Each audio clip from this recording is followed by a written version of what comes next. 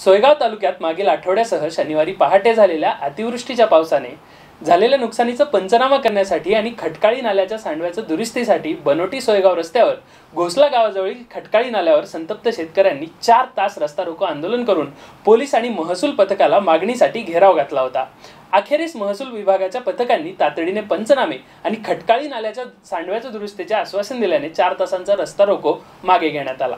सोयगाव तालुक्यात अतिवृष्टीने शेतकऱ्यांचे मोठे नुकसान झाले आहे. प्रशासनाकडून कोणतेही पंचनामे प्रक्रिया हाती घेण्यात आली नसल्याने शेतकरी संतप्त झाले आहेत. त्यातच खटकाळी नाल्यावरून येणाऱ्या धरणाच्या सांडव्याच्या दुरुस्तीचे दोन वर्षापासून पाठपुरावा करूनही दुरुस्ती होत नसल्याने या खटकाळी नाल्याच्या पुराने शेतकऱ्यांचे मोठे नुकसान होत असून शनिवारी आलेल्या पुरात पिकांसह शेतीची पिके वाहून गेल्याचा प्रकार घडल्याने घोसला गावातील बाधित शेतकरी संतप्त झाले आहेत. शनिवारी चार तास या खटकाळी आल्यावरच सोयगाव बनोटी रस्त्यावर संतप्त शेतकऱ्यांनी रास्ता रोको आंदोलन केल्याने सोयगाव तालुक्यात प्रशासनाच्या विरोधात शेतकरी एकवटले असल्याचे या आंदोलनादरम्यान स्पष्ट झाले होते. अतिवृष्टीच्या काळात सोयगाव तालुक्यासह घोसला गावाला तीन वेळा अतिवृष्टीचा फटका बसला. त्यामध्ये पिकांचे मोठे नुकसान होऊनही प्रशासनाकडून थातुरमातुर पंचनामे होत असल्याचा आरोप या संतप्त शेतकऱ्यांनी केला असून दोन वर्षापासून खटकाळी नाल्याच्या सांडव्यातून वाहून येणाऱ्या सांडव्याच्या दुरुस्तीसाठी दोन वर्षापासून पाठपुरावा करून देखील दुरुस्ती होत नसल्याने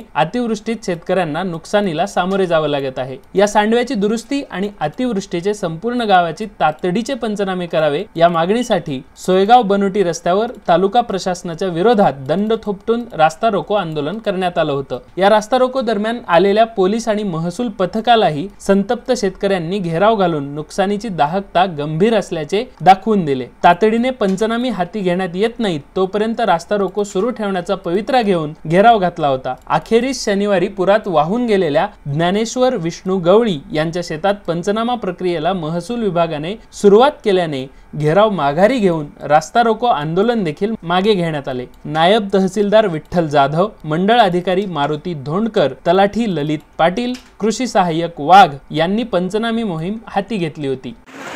आमच्या ठिकाणी कोणीच पाहिली यायला तयार नाही. आमचं डायरेक्ट शेतांचं नुकसान झालंय. तहसीलदार येत नाही तलाठी येत नाही कोणी शिवराला नाही. शेवटी आमच्या तर एकच पर्याय उरलाय तो म्हणजे आत्महत्या. बस. काय करायला पाहिजे? दोन वर्ष झाले आमचं नुकसान होत आहे याचे कोणी जबाबदारी घेत नाहीये.